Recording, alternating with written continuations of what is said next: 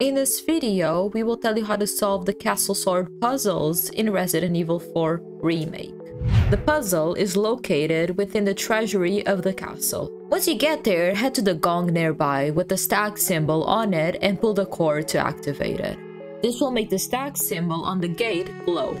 Next, you need to aim through the bars of the gate and shoot the eagle and snake gongs to light up the other symbols, opening the gate.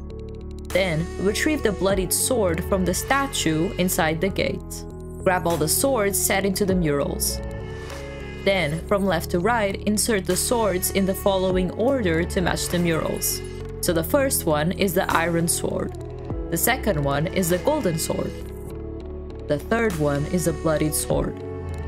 And finally, the rusted sword. Once all the blades are in the correct place, the gate will open. And that's it!